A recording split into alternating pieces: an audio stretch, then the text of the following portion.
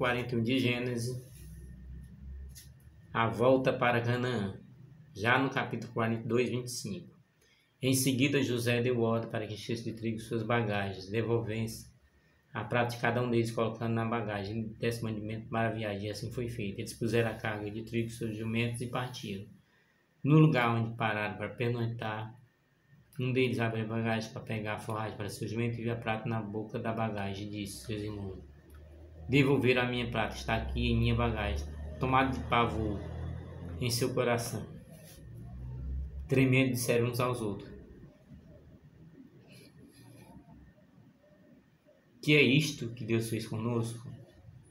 Ao chegar à casa de seu pai Jacó, na terra de Canaã, Canaã relataram tudo o que aconteceu, dizendo: O homem que governa aquele país falou asperamente conosco, nos tratou como espiões, mas nós lhe asseguramos que somos homens honestos e não espiões.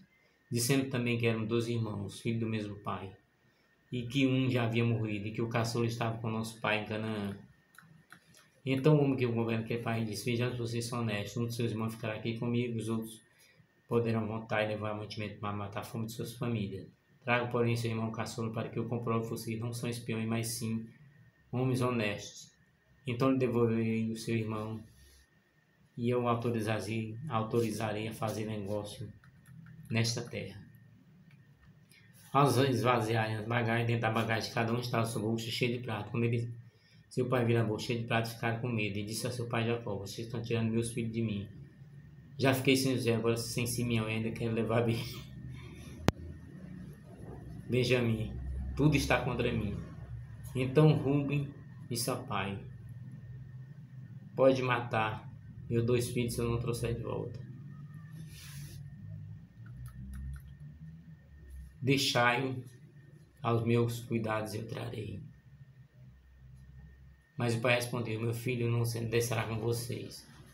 Seu irmão está morto ele é o único que resta.